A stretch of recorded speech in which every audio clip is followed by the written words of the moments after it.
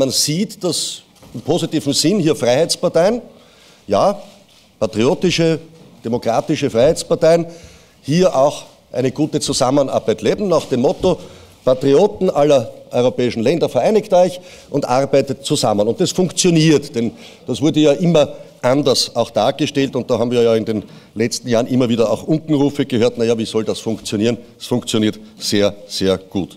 Faktum ist, dass wir unterschiedliche Parteien sind und natürlich da oder dort auch unterschiedliche Zugänge haben zu den einzelnen politischen Sektoren. Wir haben auch jeder ein Parteiprogramm und das sind durchaus auch inhaltliche Unterschiede vorhanden. Aber es gibt natürlich Dinge, auf die wir uns verständigen und einigen und letztlich diese internationale Kooperation auf parlamentarischer Ebene und auch auf Parteienebene sicherstellen.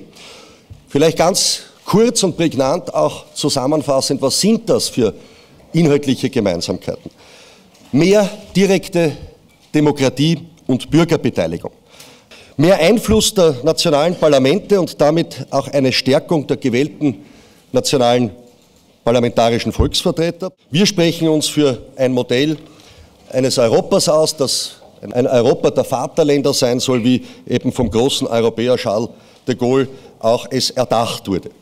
Und wir wollen die Dominanz auch der Konzerne auf die europäische Unionspolitik zurückdrängen. Und natürlich ist uns besonders wichtig, dass wir als eine Allianz für Sicherheit, Wohlstand und Frieden uns einsetzen in Europa.